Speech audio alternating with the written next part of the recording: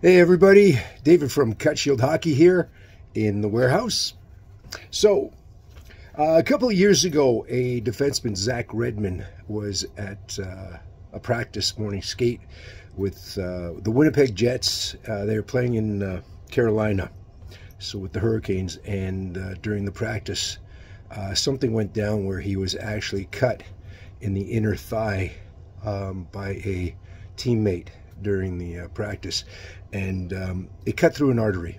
Um, and the Hurricanes and the Jets together, they saved his life because it basically he was bleeding out.